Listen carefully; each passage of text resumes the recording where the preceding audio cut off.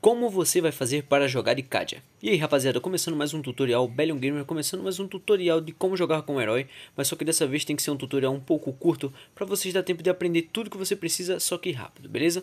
Primeiramente vamos falar sobre passiva, skills, depois combo, builds e emblemas para a gente terminar o vídeo Então por favor, fica até o final do vídeo para que você aprenda tudo, não esquece o like e se inscrever no canal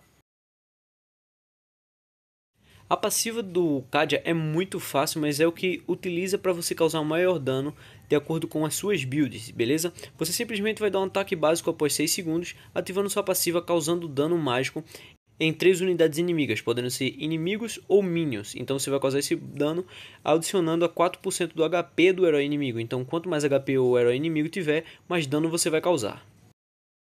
Primeira habilidade do Kadia é muito simples, você só precisa ativar ela, que ela vai causar um dano tanto indo quanto na volta dela, causando 30% de lentidão nos heróis inimigos quando forem atingidos, então vai fazer com que você combe juntamente com sua passiva e suas outras skills, que já já vou explicar.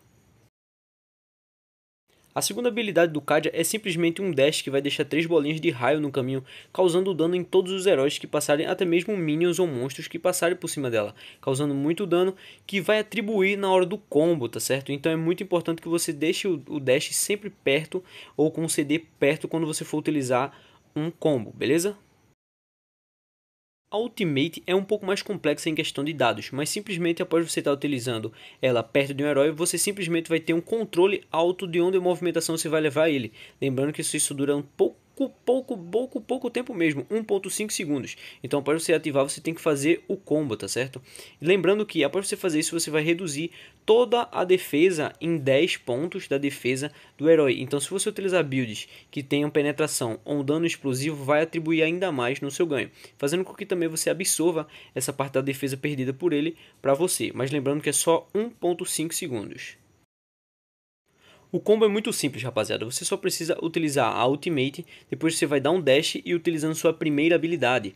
Isso vai fazer com que você exploda o seu herói. Isso normalmente no mid ou late game você já vai estar conseguindo explodir muito fácil, dando insta-kill muito, mas muito fácil mesmo, dependendo da, das suas builds que você utilizar. CAD é muito questão de build para determinadas partidas e como você vai utilizar ele em determinadas partidas, que já já eu explico como você vai fazer isso, tá certo?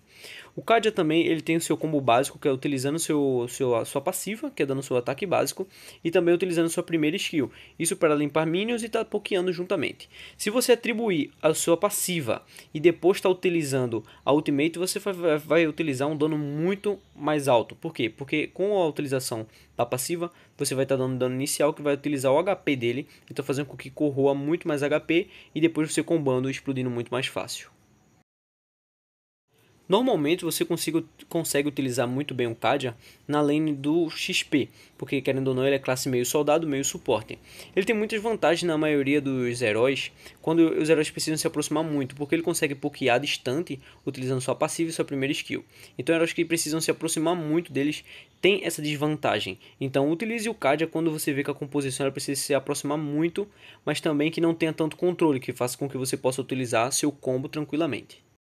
Essa é a build e o melhor emblema que você pode estar utilizando no Kadia para você estar jogando, tá certo? Então, por favor, não esqueça de estar utilizando ela e você pode moldar um pouco também, se quiser tirar o imortal, colocar outra build ou pode trocar alguns itens para estar colocando mais penetração ou destruição da defesa, tá certo? De certa forma, beleza? Então, segue a build e o emblema e agora vamos falar da questão dos counters. Supostamente, com informações do próprio jogo do Mobile Legends, dizem que o counter do Kadia é o Martins. Também faz um pouco de sentido porque ele fica imune quando dá a sua utilização da sua segunda skill.